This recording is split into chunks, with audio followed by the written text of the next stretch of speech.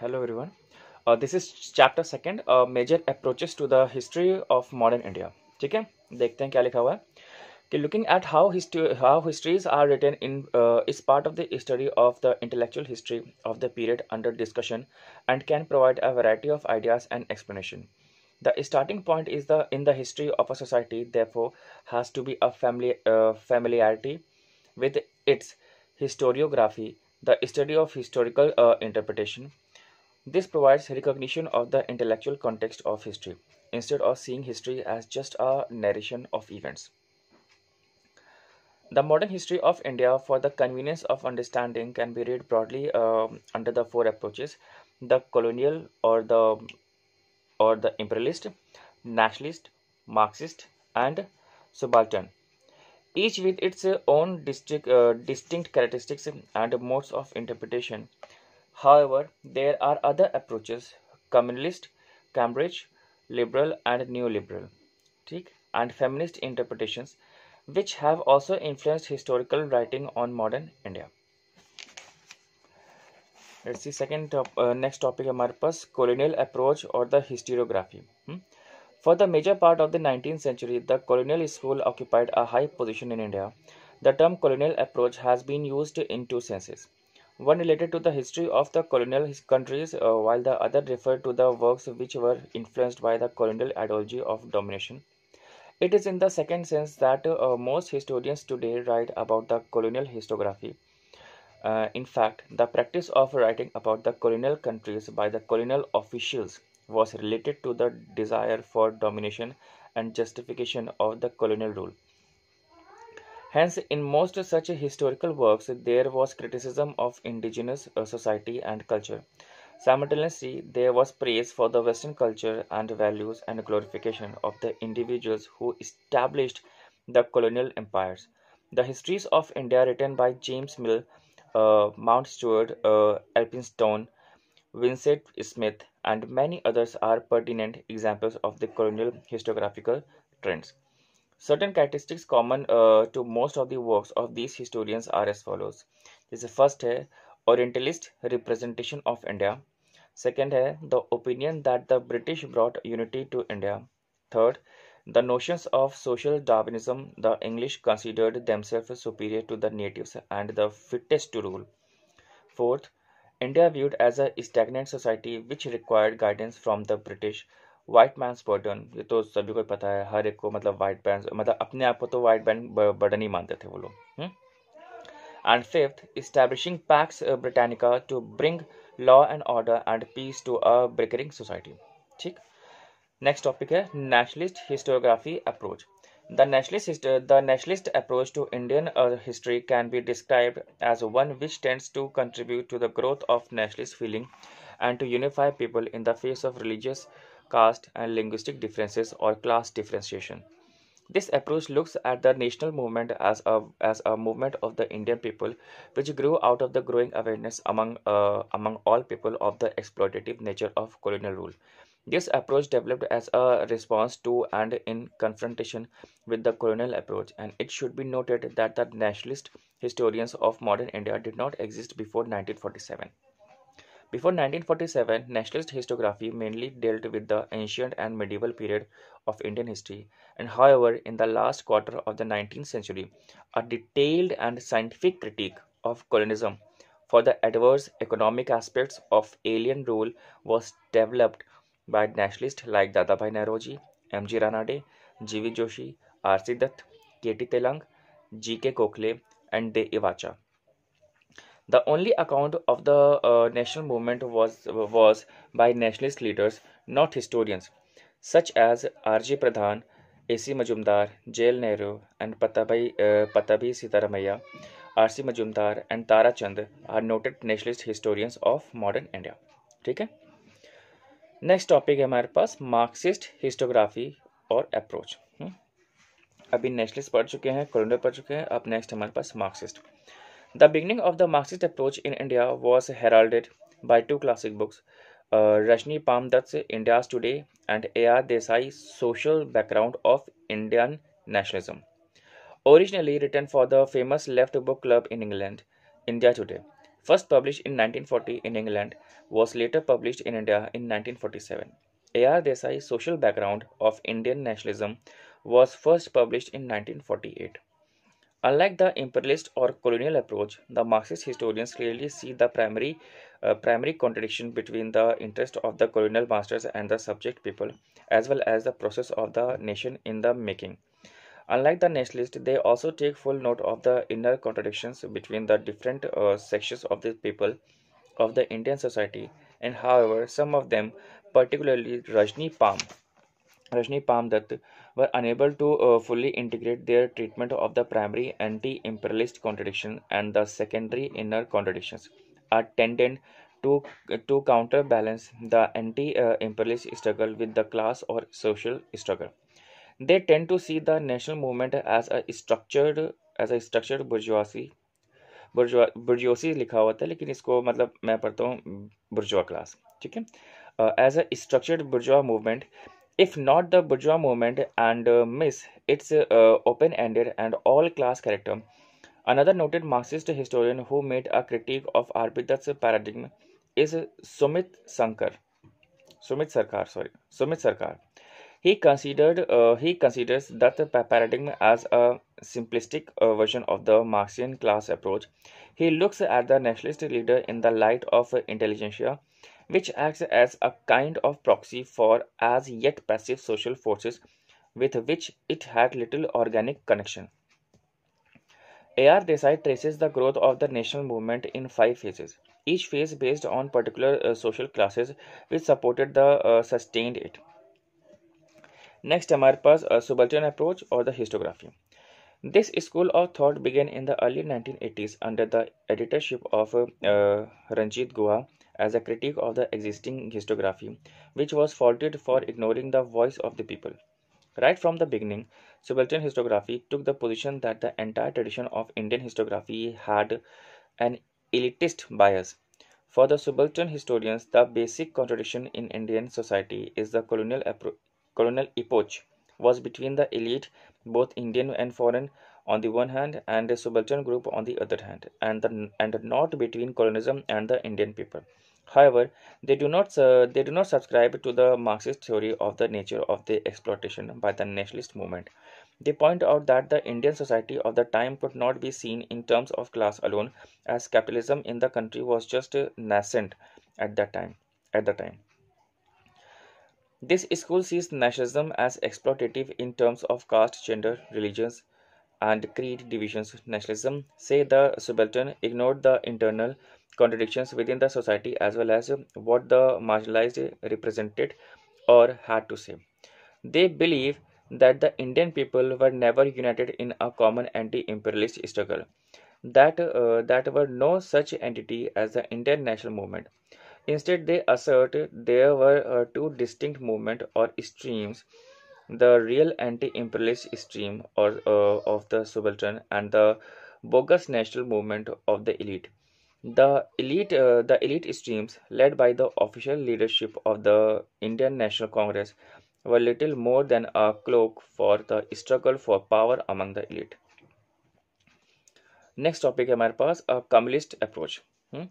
The historians of this school relying completely on the uh, colonial historiography of medieval India of medieval India and colonial era textbooks viewed, uh, viewed Hindus and Muslims are permanent hostile groups whose interests were mutually different and uh, antagonistic to each other. This view was not only reflected in the writings of the historians but also took a more uh, virulent form in the hands of the communal uh, political leaders. In their view, India's medieval history was one long story of Hindu Muslim conflict. As a, a corollary, of this view, it was then argued that the 19th and the 20th century Muslim had the happy and proud ever-present memory of having uh, of having been the ruling class, while Hindus had the sad and humiliating memory of having uh, been the subject race. This ultimately developed mutual hatred among these groups, often resulting in communal riots and, in the end, led to the partition of India. Next topic is Cambridge School. According to this school of thought, the fundamental contradiction under colonial rule was not uh, between imperialism and the Indian people, but among the Indian themselves. Further, Indian nationalism was not uh, the product of a struggle of the Indian people against colonial exploitation, but what arose from conflict among the Indians and getting the benefits giving, given to them by the British rulers. The leaders of the national movements, according to this school, were inspired by the quest for power and material benefits. This approach has been criticized by many scholars on the ground that it takes the mind or ideals out of human behavior and reduces nationalism to animal politics. Next topic है liberal and neoliberal in uh, interpretation. According to this interpretation, the economic exploitation of the colonial was not beneficial to the uh, to the British people as a whole. The availability of markets for uh, British uh, industrial goods in the colonial world and capital investment in overseas market, like lying, uh, like laying of uh, railways in India, might have actually discouraged domestic investment and delayed the development of the new indust- industries in Britain. The proponents of this school of thought uh, are Patrick O'Brien, Hopkins, and Cain. Next topic is feminist historiography. Hmm? The shift in terms of the writing of women's history, history began with the women's movement in of the 1970s, which provided the context and impetus for the emergence of women's studies in India. Very soon, women history uh, broadened the broadened and assumed the assumed the more complex shape of gender history. In the early years, the endeavor was to write a history of women to supplement the writings of mainstream history.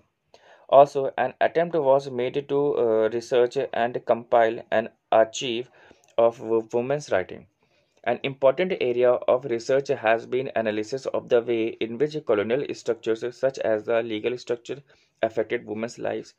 Women's vulnerability due to the denial of ownership of productive resources has been focused on in the analysis of how progressive laws shaped gender relations. In the colonial period, two works based upon the women's quest in India The High Caste Hindu Woman 1887 by Pandita Ramabai and Mother India 1927 by Katherine Mayo attracted international attention. This is the completion of this chapter, and we are going to literally uh, stick the summary on this video at the last Okay, so you can go through the content and uh, the major perspective of this uh, reading the book is that you must be knowing that each and every uh, corner of the india we are studying uh, we are literally starting with the modern india then uh, i'm literally going to just take some couple of subjects also okay so um, ठीक है कोई doubt वगैरह हो तो पूछ लीजिएगा and literally I am about to make this YouTube channel sorry WhatsApp channel ठीक है? उसमें आके हम लोग बाद में मिलते हैं, ठीक? Till then bye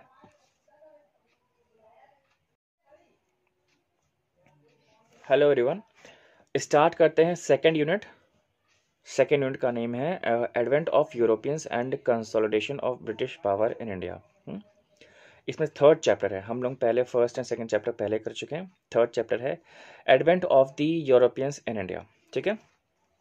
we are starting. Though we talk of ancient medieval and modern periods in history and history is a continuity it is not always easy to distinguish uh, clearly when one period ends and another begins. So if we think of the history of modern india as beginning with the advent of the europeans we need to go back to what is generally considered the medieval period that is the 15th century itself. Indeed to a time even before the mughals came and established their empire. First topic हमारे पास the Portuguese in India ठीक है the quest for and discovery of a sea route to India so After the decline of the Roman Empire in the 7th century, uh, the Arabs had established their domin domination in Egypt and Persia.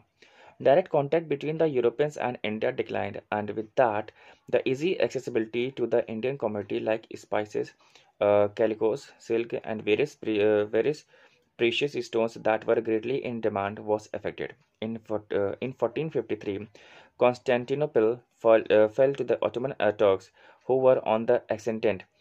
Merchandise from India went to the European markets through Arab Muslim intermediaries, and the Red Sea trade route was a state monopoly from which Islamic rulers earned tremendous revenues. Okay? The land routes to India were also controlled by the Arabs in the um, and in the circumstances, the Europeans were keen to find a direct sea route to India. 15th century, Europe was gripped by a spirit of the Renaissance with its call for exploration. At the same time, Europe made great advances in the art of shipbuilding and navigation. Hence, there was an eagerness all over the Europe for adventurous sea voyage to reach the unknown corners of the East. The economic development of many regions of Europe was also uh, progressing rapidly and uh, with expansion of land under cultivation, the introduction of an improved plug, uh, plow, scientific crop management such as crop rotation and increased supply of meat, which called for spices for cooking as well as for preservation. Prosperity also grew and with it the demand for uh, oriental luxury goods also increased. Venice and Geneva, had, uh, which had earlier uh, prospered through trade in uh, Oriental goods, were too small to take on the mighty Ottoman Turks or to take up major exploration on their own. The North Europeans, uh, the North Europeans were ready to aid Portugal and Spain with money and men, even uh, as the Genoese with, uh, were ready to provide ships and technical knowledge. It is also to be noted that Portugal had assumed the leadership in um, Christendom's uh, resistance to Islam, even as it had taken on itself the spirit of exploration that had characterized the Genoese. Historians have observed that uh, uh, the idea of finding idea of finding an ocean route to sea had become an obsession for Prince Henry of Portugal, who had nicknamed the Navigator. Also, he was keen to find a way to uh, circumvent the Muslim domination of the Eastern Mediterranean and all the routes that connected India to Europe. Pope Nicholas V gave Prince Henry a bull in 1454, conferring, to, uh, conferring on him the right to navigate the sea to the distant shores of the Orient. More specifically, as far as India is uh, in an attempt to fight Islamic influence and spread the Christian, uh, Christian faith. However, Prince Henry died before his dream came, became a reality. In 1497, under the Treaty of uh, Tordesillas, 1494, the ruler of Portugal and Spain divided the non-Christian world between them by an imaginary line in the Atlantic, some 1300 miles west to the Cape, uh, Cape Verde, uh, Verde Island. Under the treaty, Portugal could claim and occupy everything to the east of the line, while Spain could claim everything to the west. The situation was thus prepared for the Portuguese incursions into the waters around India. It was in 80, uh, it was in 1487 that the Portuguese navigator uh, Bartolome Diaz, Bartolome Diaz rounded the Cape of Good Hope in Africa and sailed up to the eastern coast. He was well convinced that the long sought after sea route to India had been found. But it was only 10 years later that an expedition of Portuguese ships set out for India in 19 uh, in 1497 and arrived in India in slightly less than 11 months time in मे 1498 ठीक है next topic हमारे पास from trading to ruling ठीक है? ये अच्छा अभी तक ये सब सिर्फ़ द पोर्टुगीज इन इंडिया में चल रहा है मेन टॉपिक है। उसी में हमारे पास सब टॉपिक है फ्रॉम ट्रेडिंग टू रूलिंग तो सबसे पहले आते हैं हमारे पास Vasco da Gama the arrival of three ships under Vasco da Gama led by led by a Gujarati pilot named Abdul Majid. At, at Calicut in May uh, 1498 profoundly affected the course of Indian history. The Hindu ruler of Calicut, the Zamorin, uh, however, had no apprehension as to the Europeans' intentions, as the prosperity of his kingdom was due to Calicut's position as an, uh, as an entrepot.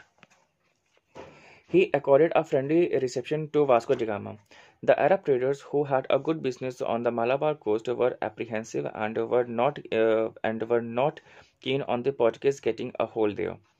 For centuries, the trading system in the Indian uh, in the Indian Ocean had uh, had numerous participants: Indian, Arabs, Africans from the east coast, Chinese, uh, Javanese, uh, among others. And but these participants had acted according according to uh, some tacit rules of conduct, and none uh, had sought overwhelming dominance, though all were in it for profit. The Portuguese changed that they wanted to monopolize the hugely profitable Eastern trade by excluding competitors, especially the Arabs. Vasco da Gama stayed in India for three months. When he returned to uh, when he returned to Portugal, he carried back with him a rich cargo and sold the merchant, merchandise in the European market at a huge profit. The importance of direct access to the pepper trade was made clear by the fact that elsewhere the Europeans who had to buy through Muslim middlemen would have had to spend 10 times as much for the same uh, amount of pepper. Not surprisingly, uh, other profit seeking merchants of European nations were tempted to come to India and trade directly. A voyage was undertaken by uh, Pedro Alvarez Cabral to trade for spices. He, he uh, negotiated and established a factory at Calicut, where he arrived in September 1500. There was an incident of conflict when the Portuguese factory at Calicut was attacked by the locals, resulting in the death of several Portuguese.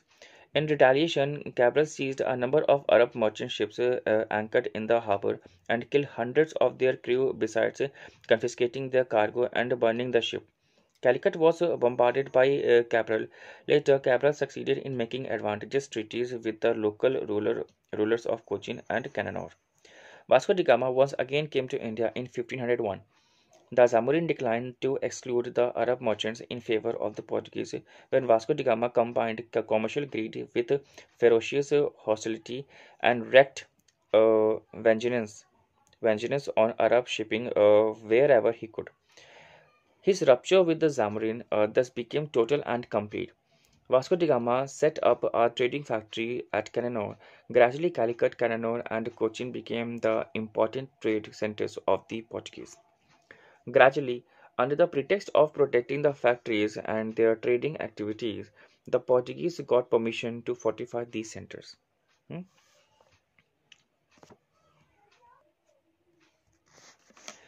Next है हमारे पास जो traveller आते थे ये है Francisco de एलमेरा In 1505, the King of Portugal appointed a governor in India for a three year term and equipped the um, incumbent with sufficient force to protect the Portuguese interest.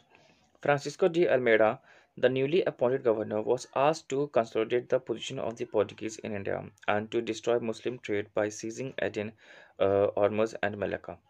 He was also advised to build fortresses uh, at uh, Anjadiva, Anjadiva, Cochin, Cannanore, and Kilwa.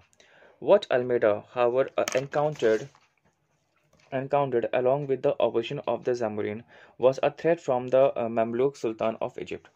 Encouraged by the merchants of Venice, whose lucrative commerce was now at risk due to the Portuguese interference, the Egyptians raised a fleet in the Red Sea to stop the advance of the Portuguese. In 1507, the Portuguese squadron was defeated in a, in a naval battle of uh, Diu by the combined Egyptian and uh, Gujarat navies, and Almeida's son was killed. Next year, Almeida uh, avenged his defeat by totally crushing the two navies. Almeida's vision was to make the Portuguese the master of the Indian Ocean. His policy was known as Blue Water Policy. Carcase system. It was also known as Carcase system. Okay. Next आते हैं इसी में sequence में Alphonso D Elby एल्बू क्यूरक्यू क्यूरक्यू लिखा जाता है बस लेकिन बोलते हैं एल Elby क्यूर्क Elby क्यूरक्यू who succeeded Almeida as the Portuguese governor in India was a real founder of the Portuguese power in the East, a task he completed before his death. He secured for Portugal the strategic control of the Indian Ocean by establishing bases overlooking all the entrances to the sea. There were uh, there were Portuguese stronghold in East Africa of the uh, Red Sea, the Ormuz in Malabar, and at Malacca. The Portuguese under Al- Albuquerque uh, bolstered their stronghold, their stranglehold by introducing a permit system for other ships and exercising control over the major shipbuilding centers in the region. The non availability of timber in the Gulf and Red Sea regions for shipbuilding also helped the Portuguese in their objectives. Albuquerque acquired Goa from Sultan of Bijapur in 1510 with the ease and the principal port of the Sultan of Bijapur became the first bit of Indian territory to be under the Europeans since the time of Alexander the Great. An interesting feature of his rule was the abolition of sati. Hmm? The Portuguese men uh, who had came on the voyage and stayed back in India were from Albuquerque's days encouraged to take local wives. In Goa and the province of the north, they established themselves as village landlords, often building new roads and irrigation works, introducing new crops like uh, tobacco and cashew nut, or better plantation varieties of uh, coconut, besides planting large groves of coconut to meet the need for uh, coir, rigging, and cordage. In the cities such as Goa and Cochin, they settled as artisans and master craftsmen. Mm, besides being traders, most of such Portuguese came to look upon their new settlements rather than Portugal as home. Next आते हैं हमारे पास Nino da Cunha Nino, uh, Nino da Cunha assumed office of the governor of Portuguese interest in India in November 1529 and almost one year later shifted the headquarters of the Portuguese government in India from Cochin to Goa. Bahadur Shah of Gujarat, during his conflict with the Mughal Emperor Humayun, secured help from the Portuguese by ceding to them in 15, uh, 1534 the island of Bassein with its dependencies and revenues. He also promised them a base in Diu. However, Bahadur Shah's relations with the Portuguese became sour when Humayun withdrew from Gujarat in 1536. Since the inhabitants of the town started fighting with the Portuguese, Bahadur Shah wanted to raise a wall of a partition. Opposing this, the Portuguese started negotiations, in the course of which the ruler of Gujarat was invited to a Portuguese ship and killed in 1537.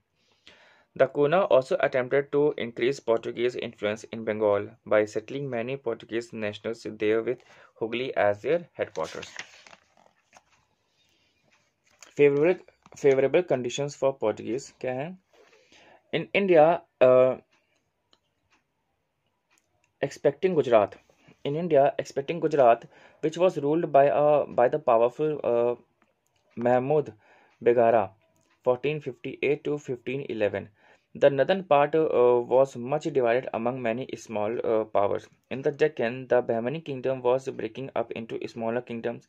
None of the power had a navy worth its name nor did they think of developing their naval strength.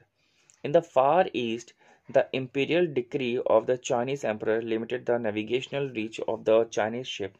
As regards the Arab merchants and ship owners who until they who until then dominated the Indian Ocean trade, they had nothing to match the or the organization and unity of the Portuguese. Moreover, the Portuguese had cannons placed on their ships. बहुत ही advanced मतलब थी उस type के जो Europeans जो naval थी। British को भी आप देख सकते हैं एंड आप स्पेनिश स्पेनिश को भी देख सकते हैं और पोर्चुगीज को भी देख सकते हैं। They are very very much advance in the naval battle correct next है topic Portuguese state the general tendency is to to underestimate the Portuguese hold in India However, the Estado Portuguese, the India state of the Portuguese India, uh, Portuguese India, was in fact a larger element in Indian history than it is given credit for. Many of the coastal parts of India had come under Portuguese power within 50 years of Vasco da Gama arrival. The Portuguese had occupied some 60 miles of coast around Goa on the west coast from Mumbai, Mumbai to Daman and Diu to the approaches to Gujarat, they controlled a narrow tract with four important ports and a hundred of towns and villages. In the south, they had under them a chain of seaport fortresses and trading posts like Mangalore, Cannanore, Cochin, and Calicut. And though their power in Malabar was not consolidated, it was enough to ensure influence or control over the local rulers who held the spice growing land. The Portuguese established further military posts and settlements on the east coast at uh, Santhom in Chennai and Nagapattinam in Andhra. Towards the end of the 16th century, a wealthy settlement has had grown at Hooghly in West Bengal.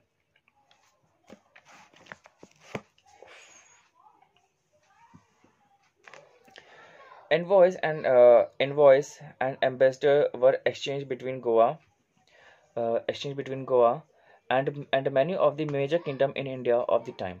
Treaties were signed between Goa and Deccan Sultan in 1570, which were regularly renewed as long as the kingdom lasted. The Portuguese uh, always had a role to play in the successive battles for the balance of power between Vijayanagar and the Deccan Sultans, between the Deccans and the Mughals, and between the Mughals and the Marathas. Interestingly, the Portuguese, the first Europeans to came to India, were also, also the last to leave this land.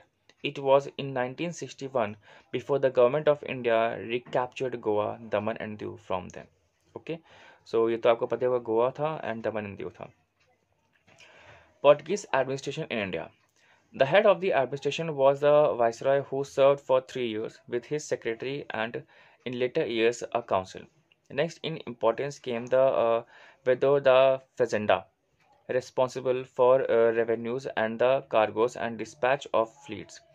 The fortresses from Africa to China were under captains and assisted by factors whose power was increased by the difficulties of communication and was too often used for personal ends. Next topic is religious policy of the Portuguese. The Moors were the bitter enemies uh, of the Portuguese in North America, sorry, in North Africa. So were the Arabs. Arriving in the East, the Portuguese brought with them the same zeal of uh, promote Christianity and the wish to persecute all Muslims. Intolerant towards the Muslims, the Portuguese were initially quite tolerant towards the Hindus. However, over time, after the introduction of the uh, Inquisition in Goa, there was a change and Hindus were also persecuted. But in spite of this uh, intolerant behavior, the, the Jesuits made a good impression at the court of Akbar, mainly due to the Mughal emperor's interest in questions of theology. In September 1579, Akbar forwarded a letter to the authorities at Goa requesting them to send two learned priests. The church authorities in Goa eagerly accepted the invitation, seeing it, seeing in uh, it a chance, it a chance to convert the emperor to Christianity, and with him his court and the people.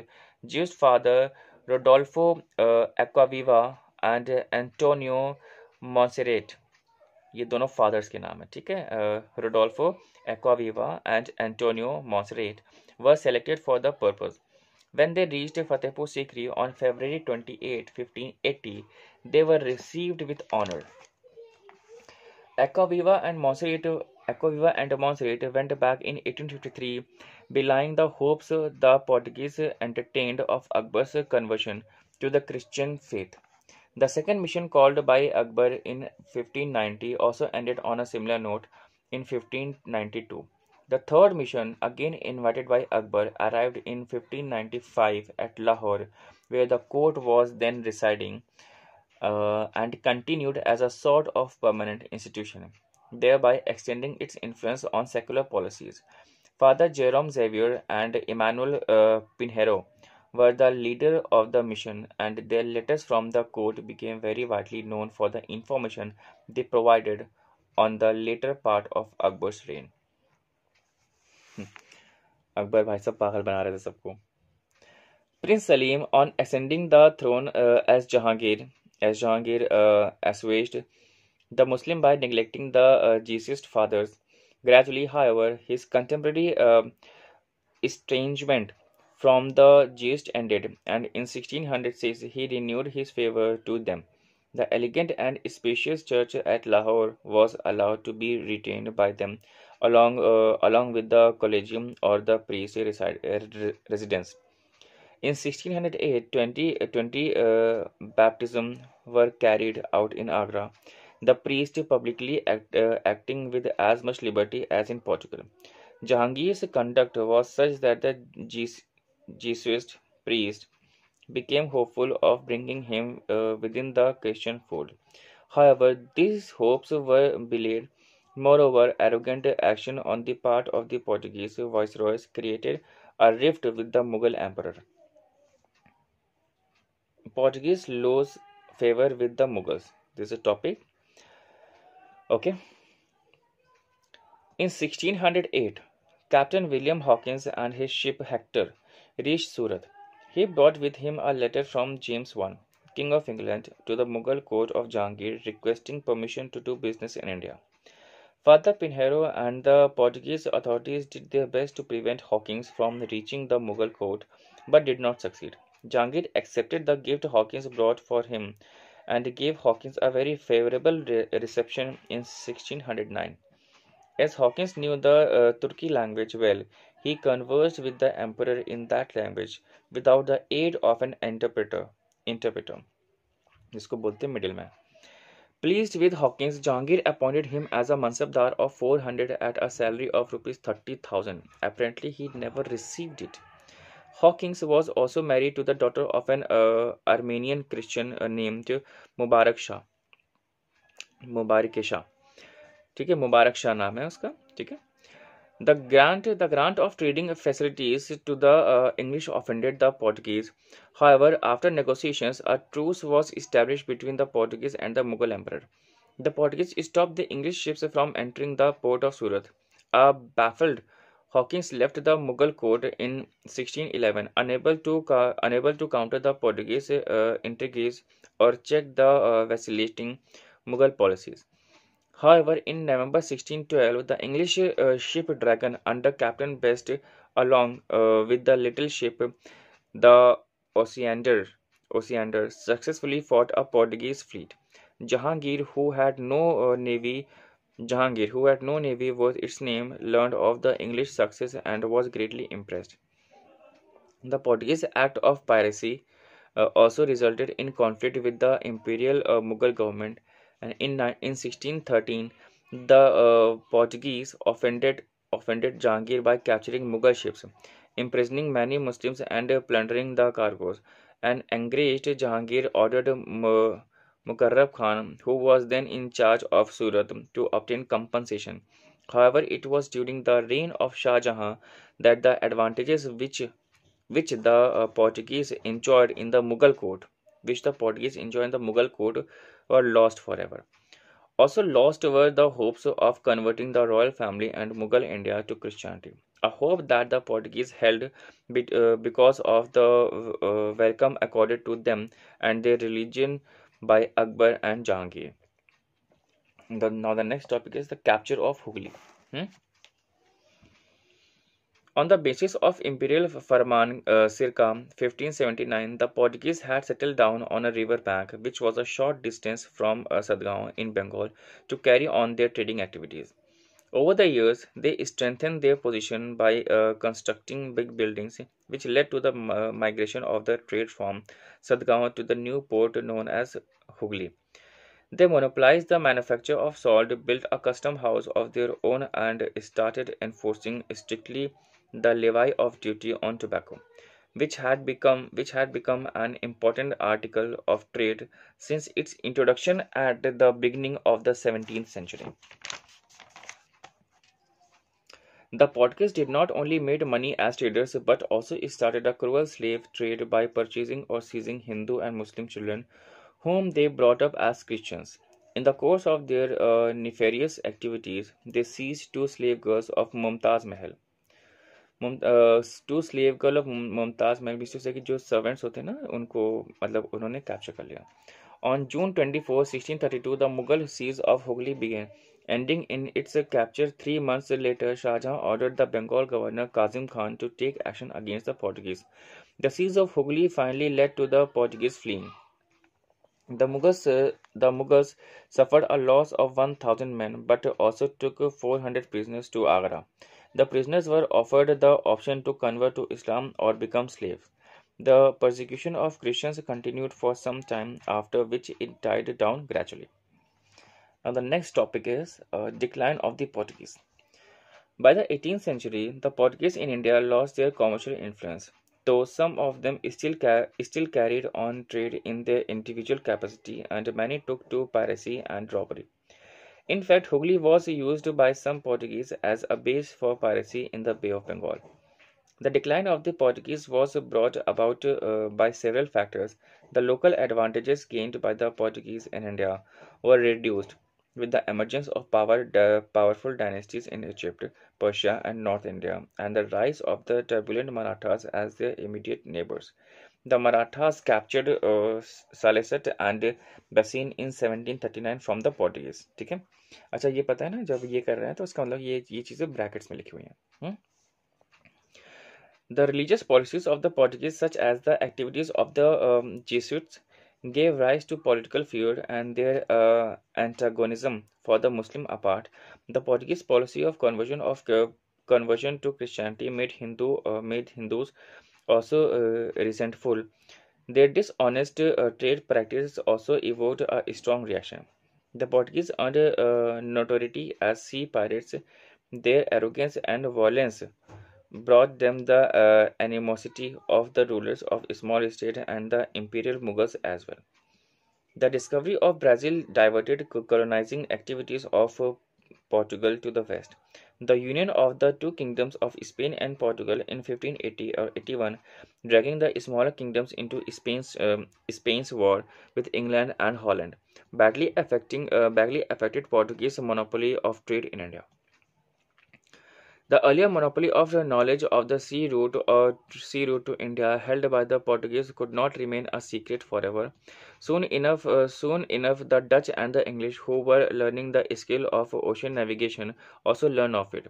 As new trading communities from Europe arriving in India, there began a fierce rivalry among them. In this struggle, the Portuguese had to give way to the more powerful and enterprising competitors. The Dutch and the English had greater resources and more compulsion to expand overseas, and they overcome and they overcame the Portuguese resistance. Only one by one, one by one, the Portuguese position fell to its opponent. Goa, which remained with the Portuguese, had lost its importance as a port after the fall of the Vijayanagar Empire, and soon it did not matter in whose possession it was.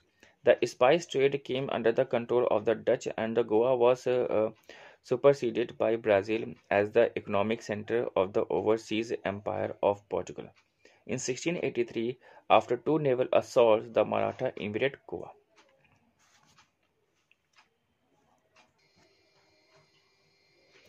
Now the next topic is significance of the Portuguese. Most historians have observed that the coming of the Portuguese not only initiated what might be called the European era, it marked the emergence of naval power. The Cholas, among others, had been a naval power, but it was now for the first time a foreign power had come to India by way of the sea. The Portuguese ships carried cannons, and this was the first step in gaining monopoly over trade with the threat with the threat of uh, or actual use of force. The Portuguese declared their intention to abide by no rules except their own, and they were intent on getting a decisive advantage over the Indians and over the Indian uh, ocean trading system. In the Malabar of the 16th century, the Portuguese showed military innovation in their use of body armor, uh, matchlock men, and guns landed from the ship. The Portuguese may have contributed by example, uh, by example to the uh, Mughal use of field guns and the artillery of the stirrup. However, an important military contribution made by the Portuguese on shore was the system of drilling groups of infantry on the Spanish model, introduced in the 1630s as a counter to Dutch pressure. The practice was adopted first by the French and English and later taken up by the Marathas and Sikh and such armies of sepoys became, became new tools of empire in India. The Portuguese were master of improved techniques at sea, and their uh, multi-decked ships were heavily constructed, designed as they were to ride out Atlantic gal- uh, gales rather than run before the regular monsoon. This permitted them to carry a heavier armaments.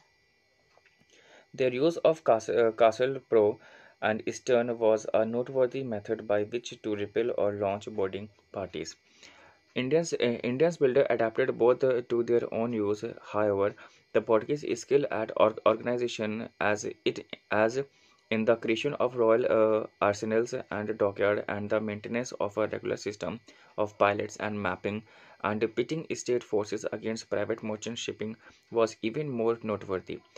The Mughals and Marathas may uh, certainly have learned from the Portuguese, but the more certain hires of this knowledge were other Europeans, especially uh, the Dutch and the English in Asia.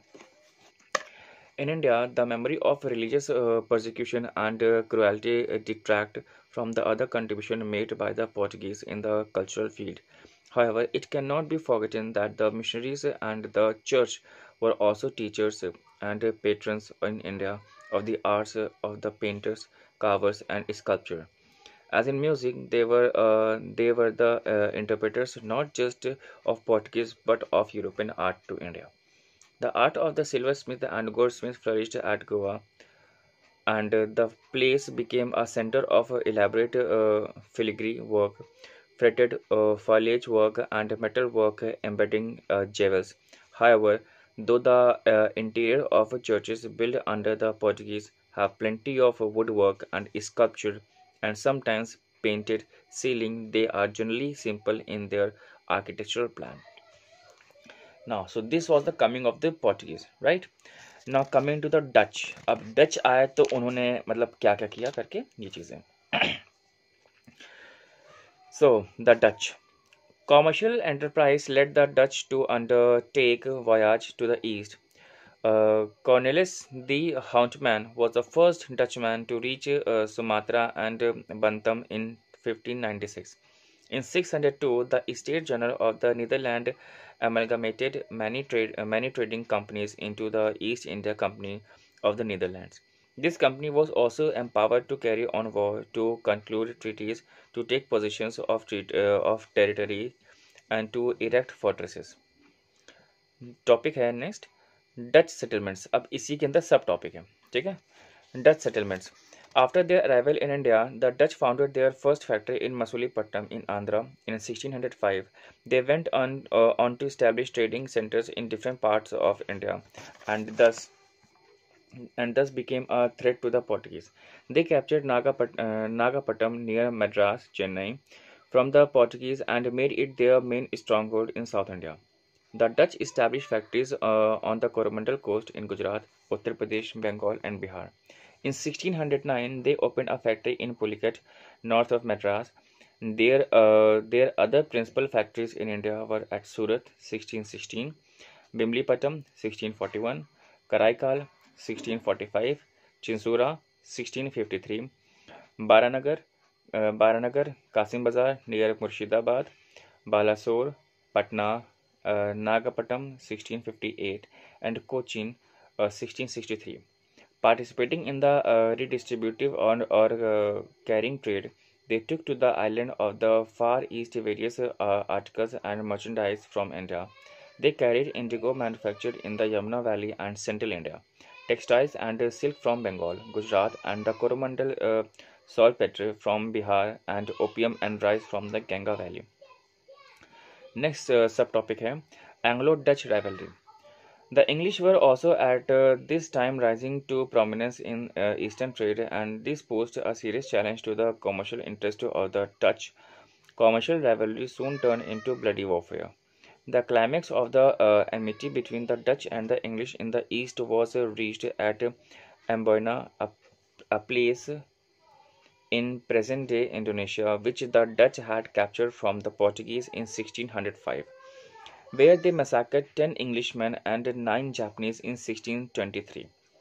This incident further intensified the rivalry between the two European companies.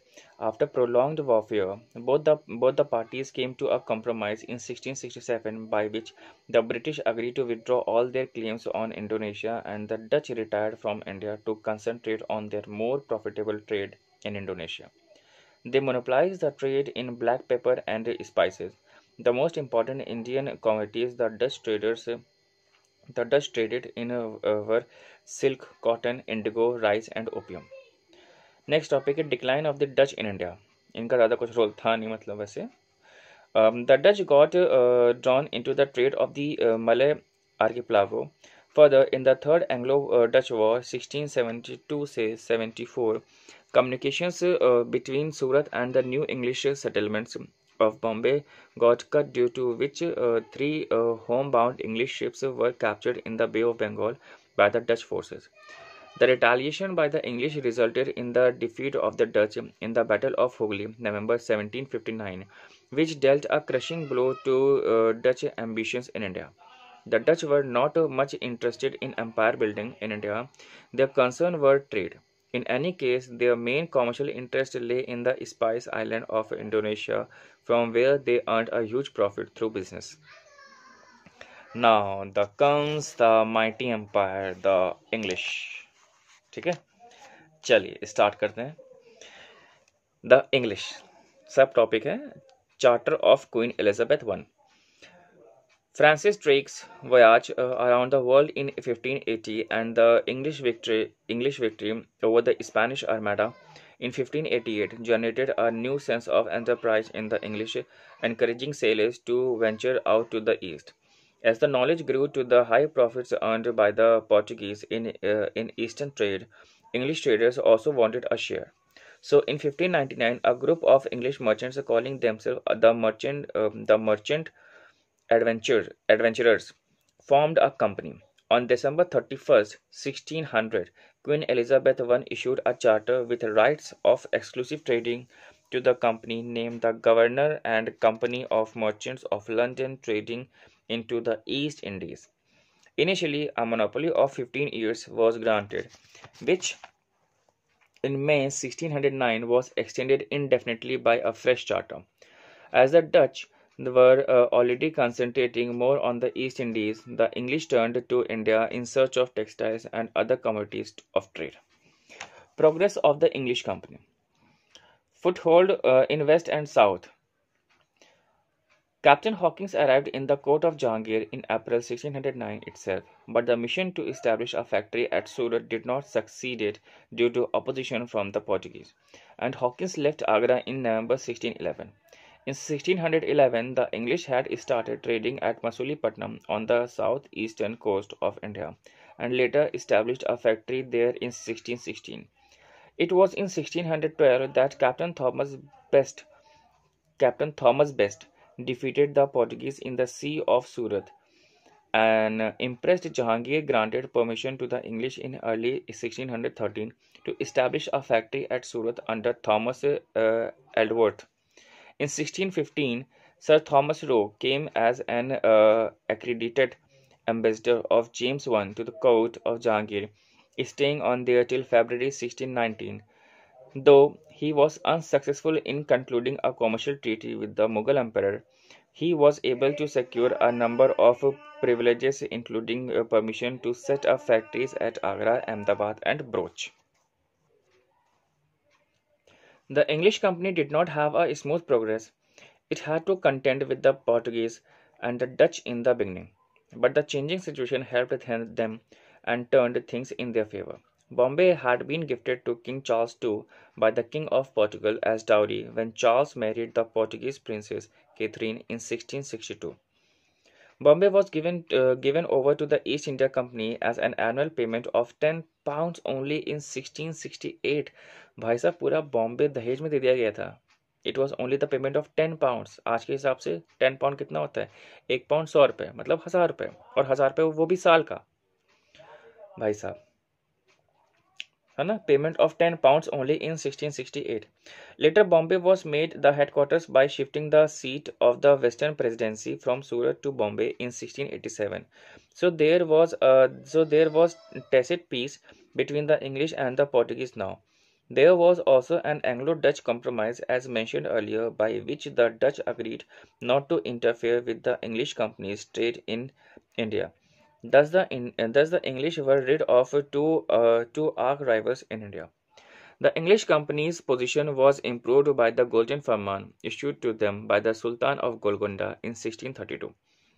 On a payment of 500 pagodas a year, they earned the privilege of trading freely in the ports, freely in the ports of Golconda a member of the Masulipatnam uh, Council, the British merchant Francis Day, in 1639, received from the ruler of Chandragiri permission to build a fortified factory at Madras, which later became the Fort, uh, Fort St. George and replaced uh, Masulipatam as the headquarters of the English settlements in South India. Thereafter, the English extended their trading activities to the east and started factories at Hariharpur, in the Mahanadi Delta and at Balasore in Odisha in 1633. Now the next topic is a foothold in Bengal, right? So um,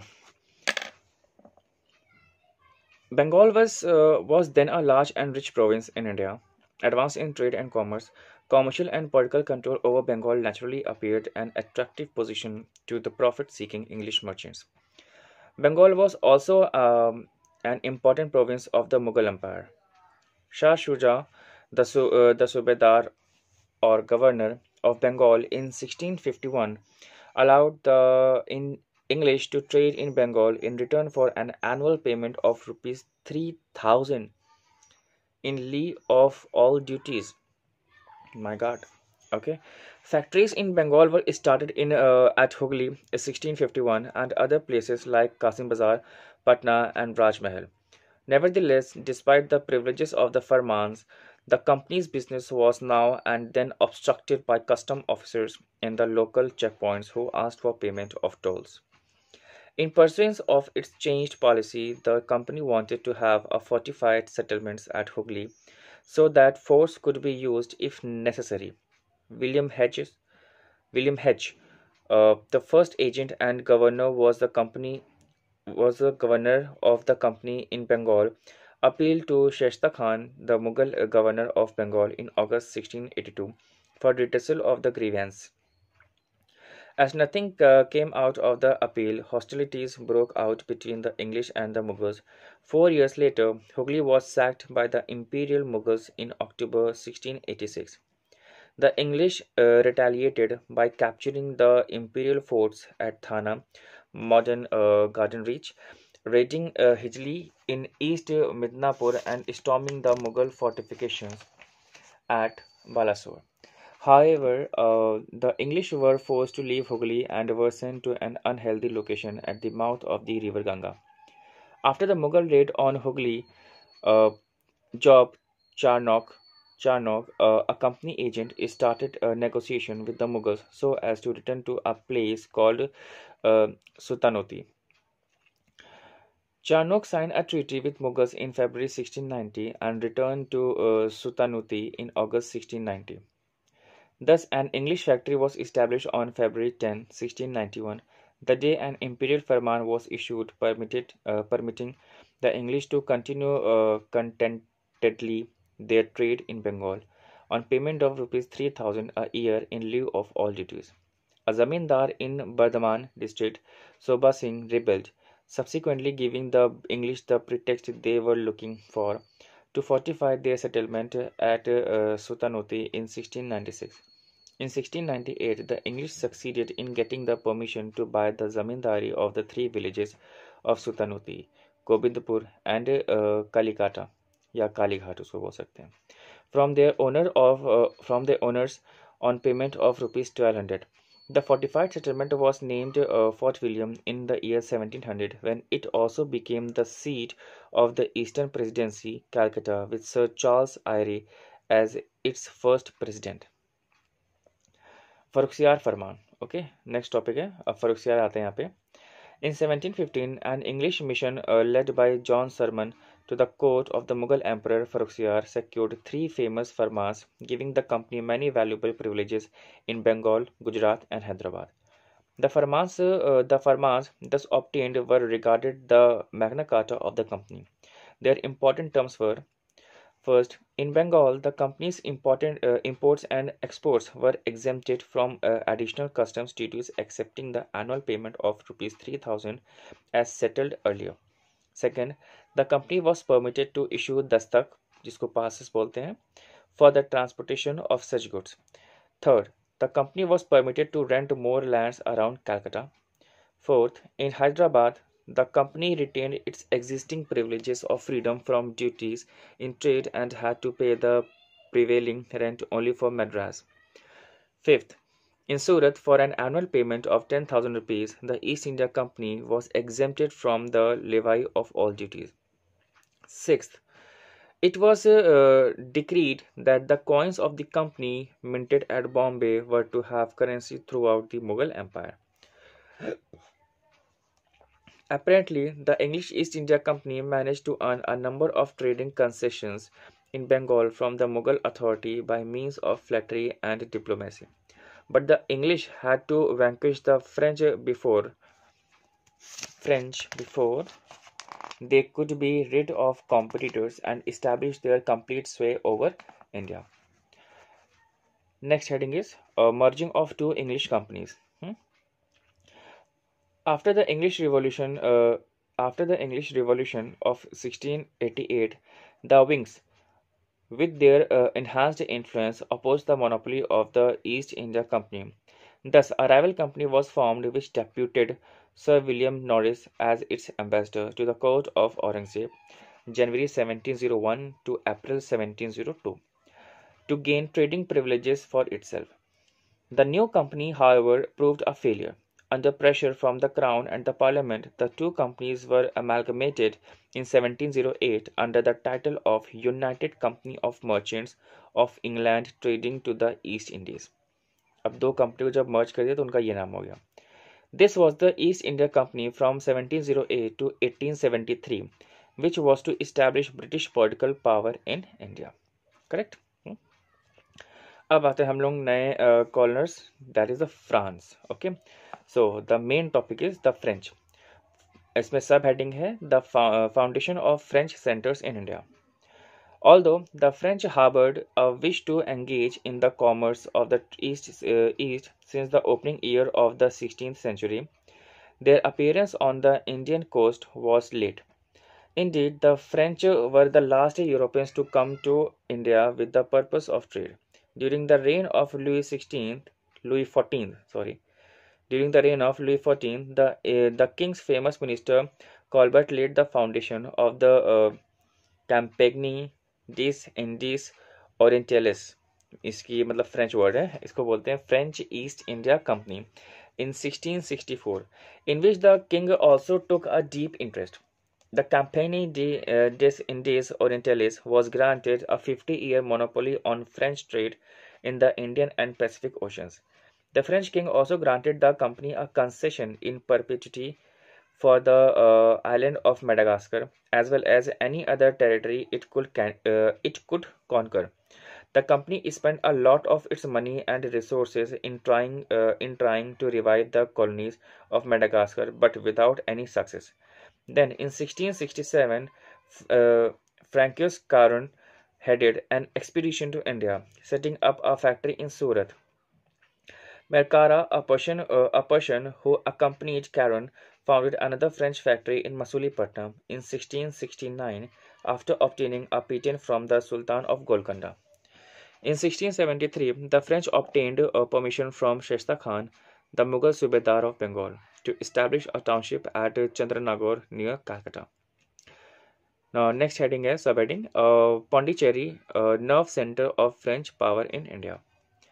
In 1673, Sher Khan Lodi, the governor of Valikondapuram, under the Bijapur Sultan, granted Fran- Francois Martin, the director of the Masulipatam factory, a site for a settlement.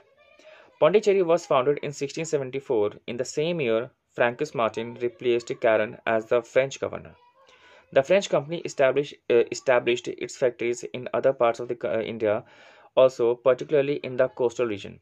Mahe, Karaikal, Balasore, and Kasim Bazar were a few important trading centers of the French East India Company. After taking charge of Pondicherry in 1674, Francis Martin developed it as a place of importance. It was indeed the stronghold of the French in India.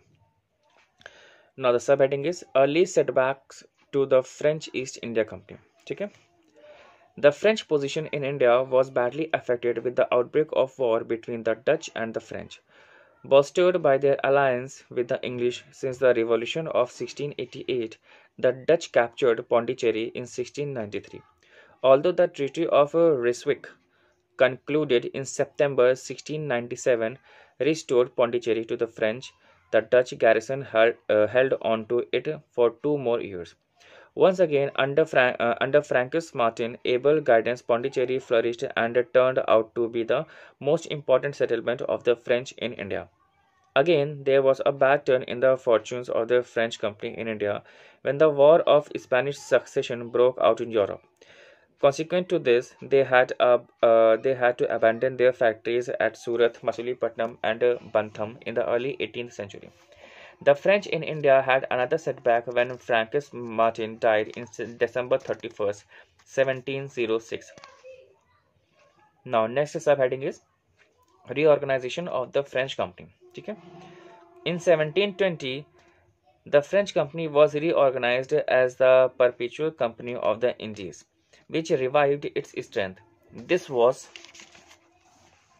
this was further enhanced by the uh, stewardship of two active and vice governors, Lenoir and Dumas, between 1720 and 1742.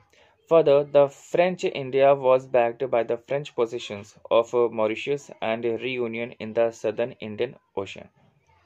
Now, the heading is uh, The Anglo French Struggle for Supremacy, the Carnatic Wars. Carnatic Wars बहुत important So, you please go through it very very very very properly Okay.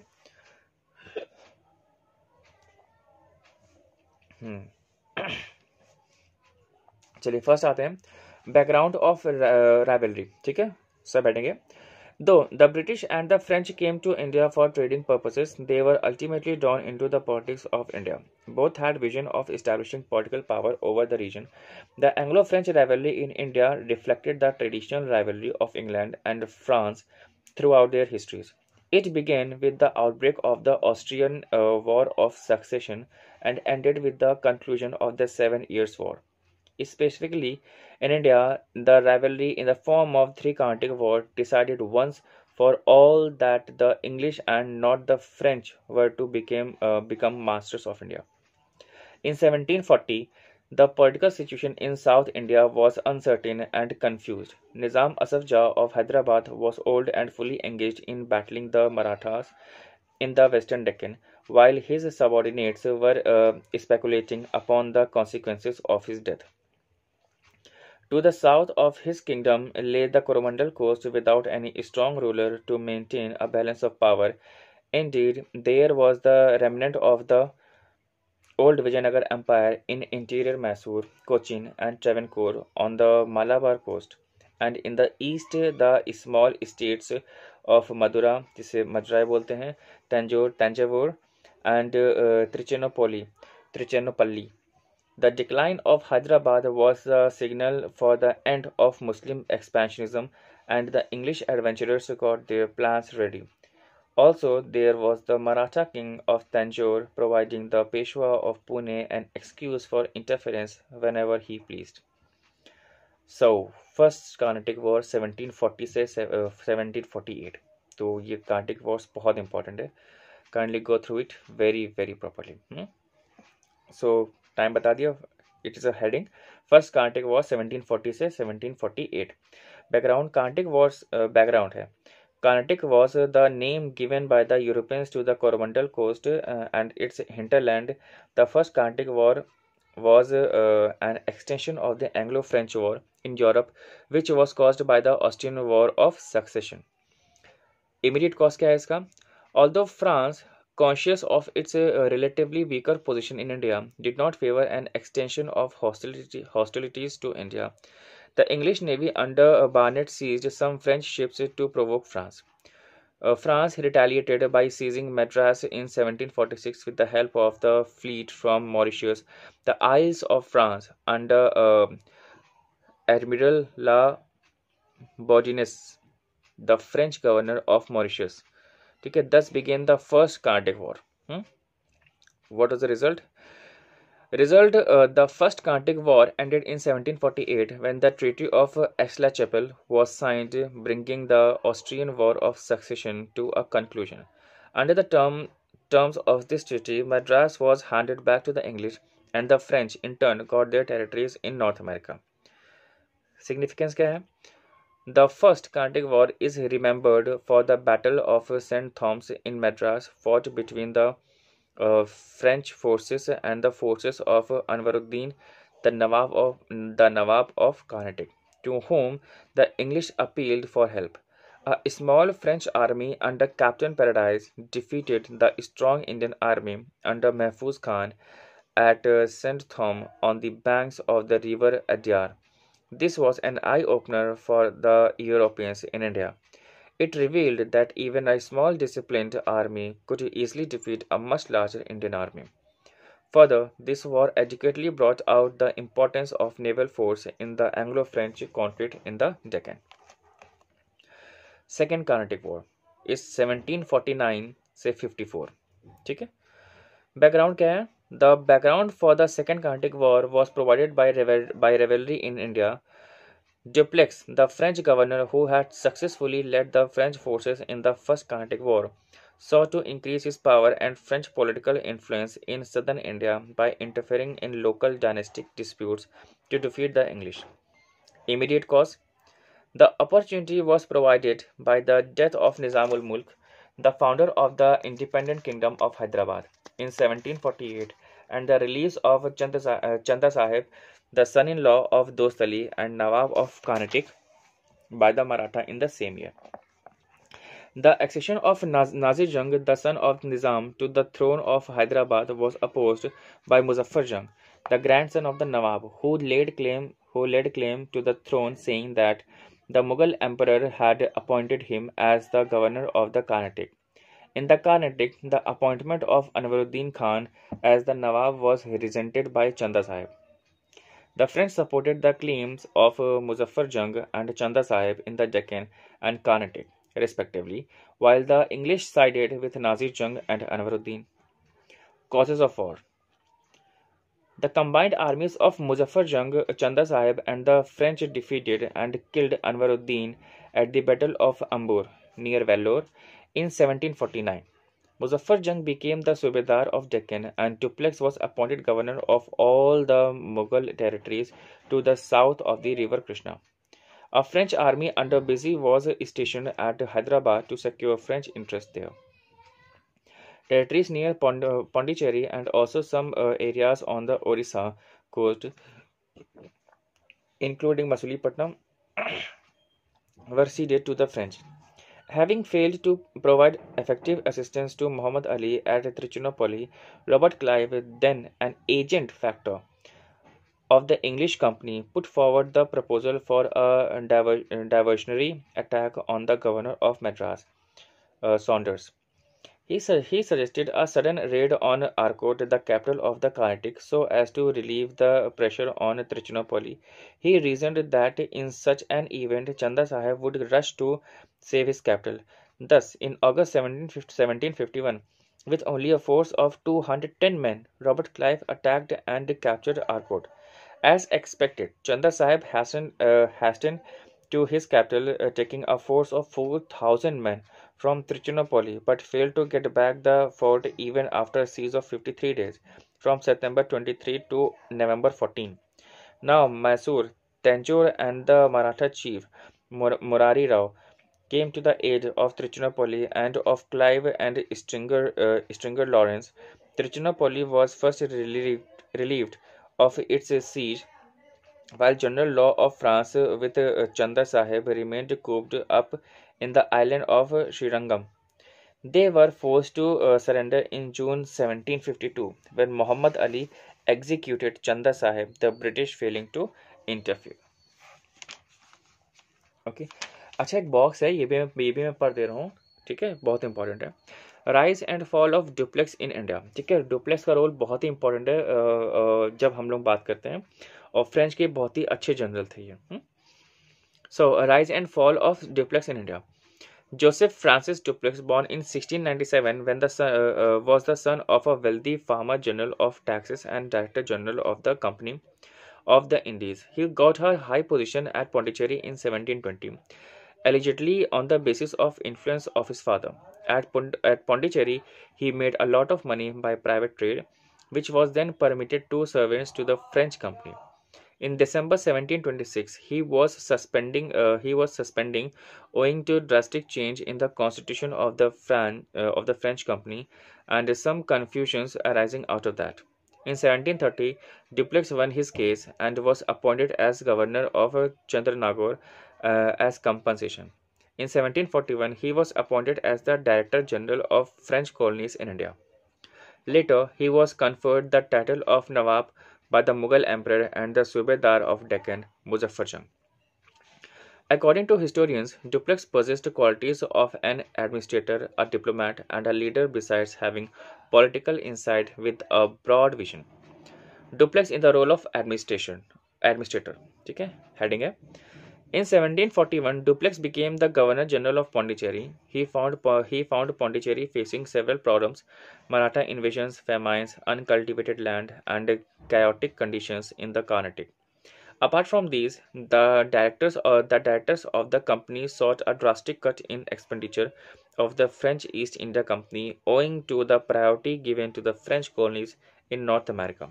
So, Dupleix reduced uh, public expenditure despite opposition from his council and balanced income and expenditure, coupled with a cut on salaries on of officers However, he decided to disobey the directors on the matter of fortification of settlements. He enhanced the defenses of Pondicherry, even uh, even spending a large sum from his personal wealth. He made Pondicherry the uh, emporium of commerce in South India by taking practical steps to develop the trade of the colony. Later, the directors of the company praised Dupleix for taking the right decisions even in contradiction of the directors.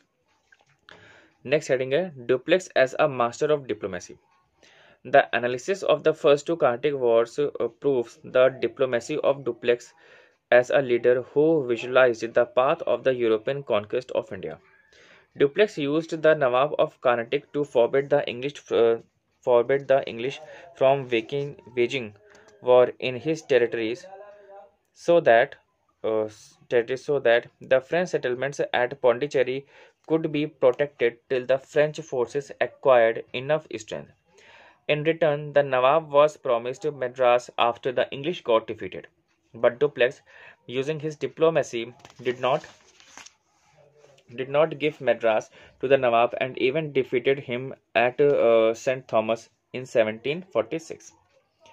Dupleix convinced uh, Admiral La Bourdonnais to break uh, promises made to the English, citing, citing examples from history that promises made under certain circumstances were never binding. Further, he said that since the position of the Governor General was superior to that of the Commander of Navy, the compact entered into between the latter and the English was ultra vires. Thus, he was able to convince his subordinate to do what was considered unethical in general terms, but best suited for one's nation. Dupleix was the first European to interfere in the internal politics of the Indian rulers. He supported Muzaffar Jung for Hyderabad and Chanda Sahib for uh, Carnatic, and his candidates emerged successful and in return gave great concession to Dupleix. Dupleix was, in fact, the, or, the originator of the practice of sub, uh, subsidiary alliance in India. He placed a French army at Hyderabad at the expense of the Subedar. Why Dupleix failed in India? Heading. Dupleix was recalled in 1754 due to the uh, initial defeat of the French army in the Second Carnatic War and the heavy cost incurred by the company due to uh, Dupleix's political decisions. Many historians have called the recall of Dupleix by the directors as a blunder. Blunder a result of a compromise between Fra uh, France and England over issues in America. However, uh, there were some weaknesses in Dupleix also which can be put in brief as follows. जैसे कि उसकी weaknesses क्या थी आप देख सकते हैं पहला point. Dupleix suffered from an over uh, sanguine temperament. He hoped too often for too long thus losing the advantage in critical situation. Second the peers of Dupleix did not like his autocratic behavior and on many occasions quarreled with him on this matter. Third, Dupleix was not a man of action. He planned a campaign, directed his lieutenants, but never led an army in the battlefield like Lawrence or Clive. The French failed to capture uh, Trichinopoly in 1752 53 because the schemes thought out by Dupleix could not be turned into action by his commanders. ठीक है? तो this was the role of the Dupleix no doubt it is a fantastic leader general लेकिन कहीं ना कहीं हर एक अगर कुछ, एक कॉइंस में अगर हेड होते हैं तो एक दूसरा फेस टेल भी होता है। ठीक है? पॉजिटिव है तो उसके नेगेटिव्स भी हैं। नेक्स्ट अब आते हैं मेन पे। रिज़ल्ट क्या था? कार्टिक वॉर्स का ठीक है?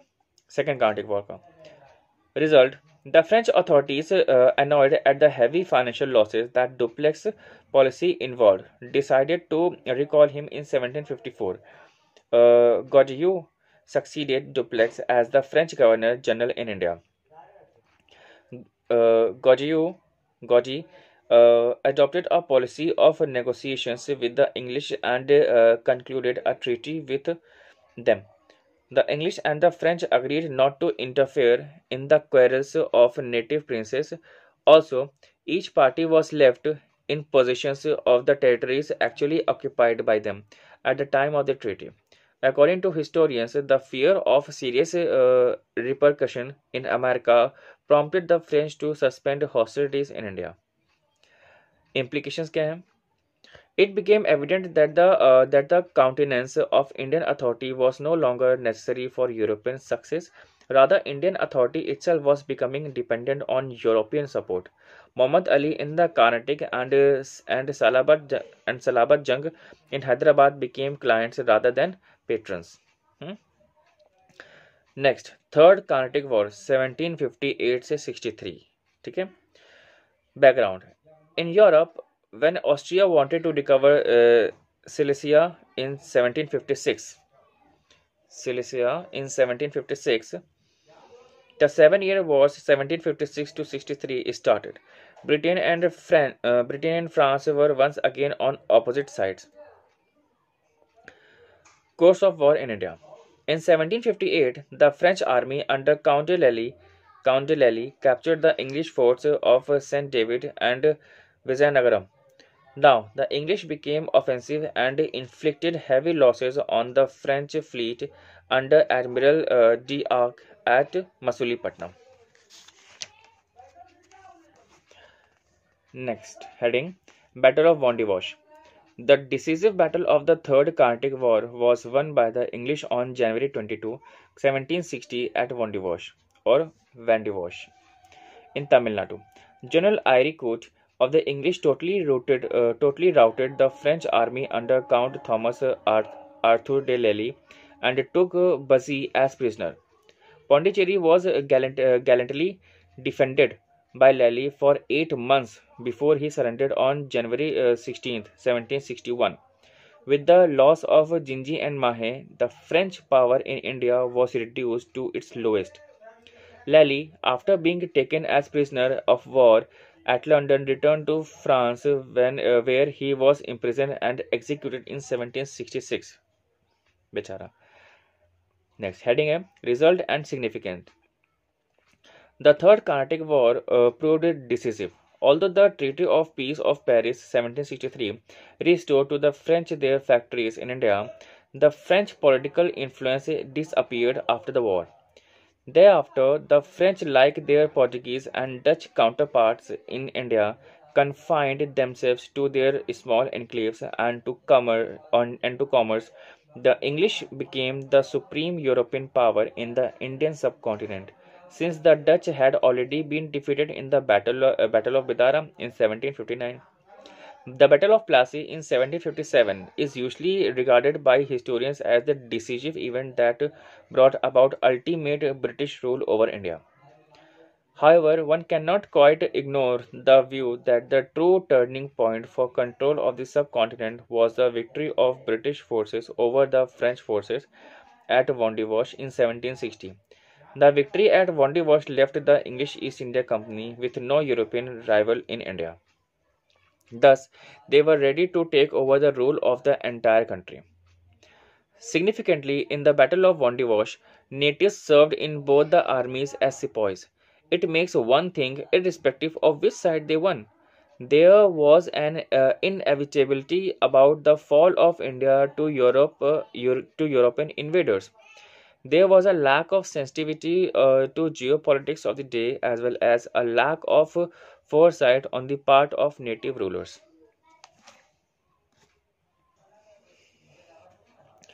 Next heading है causes for the English success and the French failure. The English company was a private enterprise. This created a sense of enthusiasm and self confidence among the people. With less governmental control over it, and this company could take instant decisions when needed without waiting for the approval of the government. The French com- company, on the other hand, was a state concern. It was controlled and regulated by the French government and was hemmed in by government policies and delays in decision making. The English navy was superior to the French navy. It helped to cut off the vital sea link between the French positions in India and France.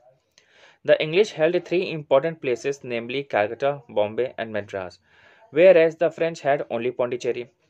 The French subordinated their commercial interest to territorial ambitions, which made the French company short of funds. In spite of their imperialistic motives, the British never neglected their commercial interest, so they always had the funds and, uh, and the consequent sound financial uh, conditions to help them significantly in the wars against their rivals. A major factor in the success of uh, the English in India was the superiority of the commanders in the British camps. In comparison to the long list of leaders of the English side, Sir Eyre Coote, Major Stringer Lawrence, Robert Clive, and many others, there was only Dupleix on the French side. ये भी बात है। ठीक है? चलिए next एक box हमारे पास about the goods in trade initially ठीक है? तो let let us have a look into it there are accounts uh, by various European travelers and traders about the activities in port towns such as Surat, which give uh, which give details of the uh, intricate steps that went into the creation of fabrics collectively called Indian. Great demand was there for cotton uh, long cloth, usually 35 to 50 meter in length. Uh, salempores uh, staple cotton cloth and morees uh, superior quality cotton cloth. Other much uh, desired fabrics were the painted clothes and prints and prints, the silks and dyes. These textiles were not just in demand in Europe but also in other parts of Asia. Indians, uh, Indians had traded in textiles for centuries before the Europeans arrived. In China, Japan, and the Indonesian archipelago, Indian cotton was popular for its uh, lightweight yet strong qualities.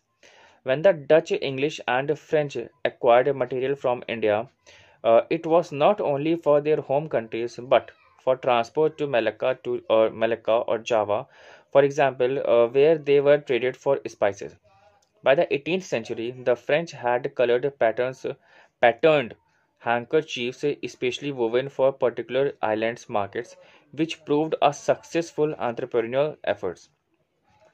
A corollary or to the trade in textiles and spices was the trade was the trade in slaves. It is generally considered that slave trade concerned Europe, Africa, and the Americas, the New World, which we said the New World. But this ignores the fact that trade between Europe and Asia also helped to sustain slavery. French ships took European good to, uh, goods to Asia, where they uh, acquired cowrie, cowrie shells and uh, Indian textile that were highly valued in West Africa. Traders exchanged these goods in Africa for slaves who were sent to the colonies of France in the Americas. The circle was completed, says the Yale Center for the Study of Globalization, when sugar and other goods from the Americas were loaded on board and shipped back to France. When the French East India Company started trading in India, they entered an uh, already well established complex economic system, and intricate network of production, negotiations, delivery, and distribution. Large commercial fleets, as well as prosperous shore-based business uh, businesses, were run by Indian merchants. Weavers and merchants worked with uh, overland freight operators and brokers, who worked with exporters and ship owners these agents uh, had also to also to negotiate with local state officials for commercial privileges. The European traders had to learn well-established rules and practices and successfully collaborate with indigenous envoys. The factories of all the European trading all the European trading groups were to be found in practically the same places. At the peak of the Indian trade, the demand for Indian goods exceeded the supply of the supply by weavers and other artisans. Even so, there was no serious rivalry initially, but But as the three uh, companies, the Dutch, the English, and the French, grew more competitive, the English, better funded and better conversant in local businesses, practices, and customs, were able to expand their factory outposts to larger uh, industrial towns under their jurisdiction. Gradually, uh, these commercial strongholds turned into political enclaves, ultimately enabling the English to expand and consolidate their power in uh, power and control all over India. Now the uh, next is the Danish. Okay, ये हम लोग सब पढ़ चुके हैं पॉटकिस का पढ़ चुके हैं फ्रेंच का हो गया एंड इंग्लिश भी हो गया। अब डैनिश आते हैं। The Danish East India company was establish in sixteen sixteen one six one six and in sixteen twenty they founded a factory at Tranquebar near Tanjore on the eastern coast of India their principal settlement was at Serampore near Calcutta the Danish factories the Danish factories, which were not important at any time, were sold to the British government in 18, uh, 1845.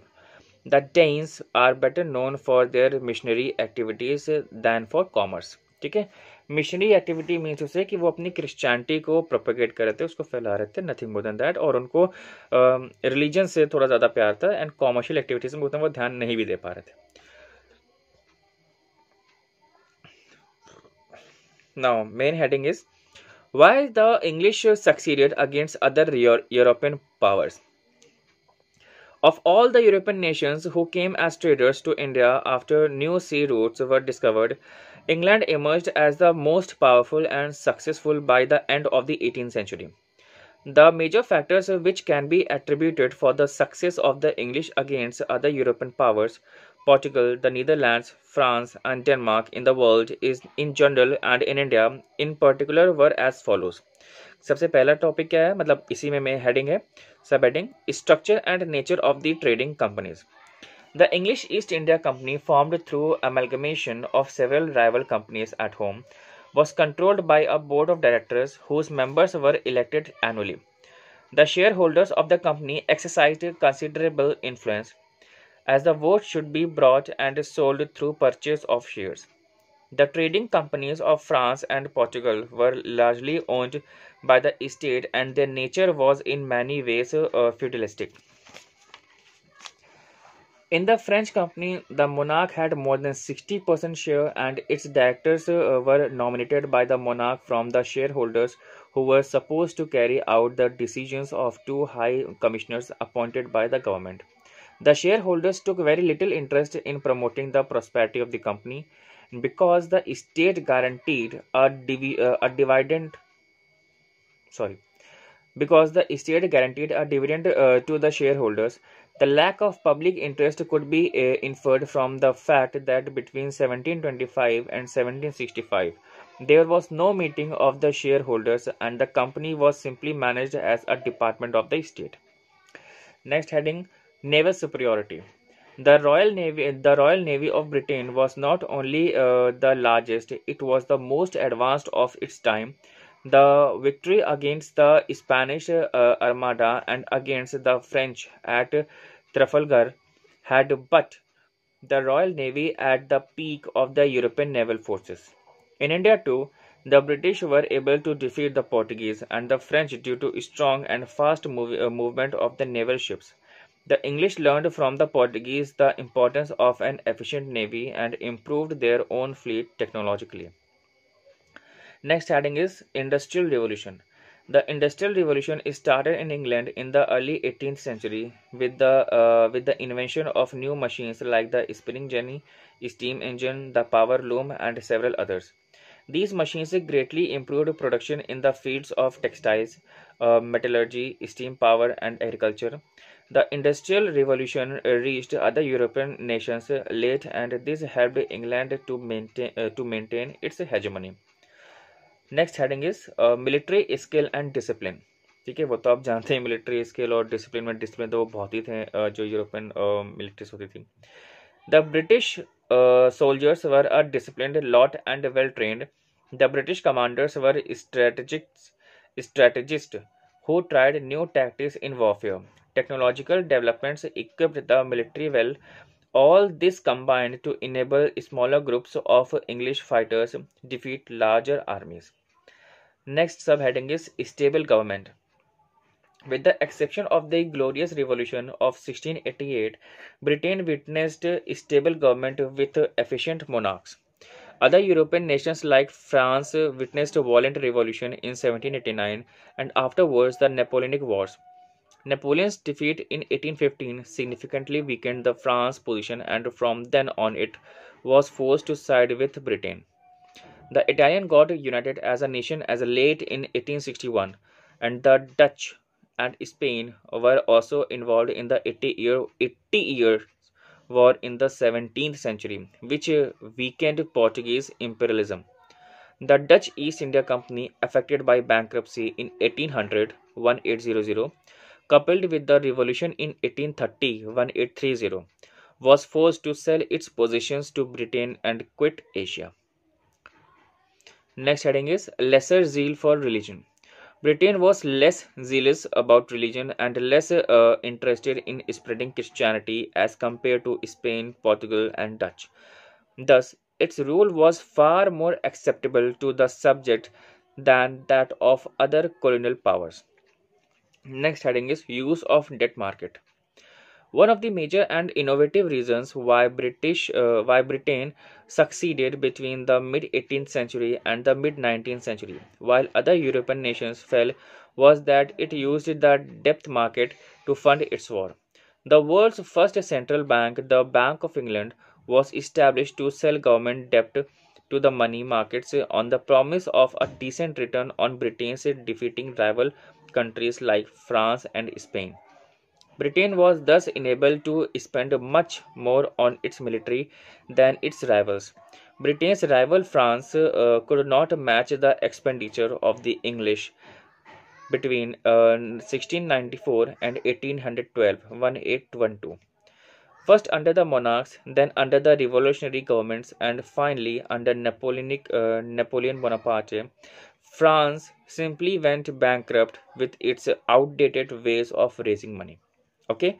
So this was the end of the chapter and we are just coming with the summary also and you can just go through the summary uh, as it is written that whatever we have read in this chapter that is being consolidated and integrated in the summary section. Okay?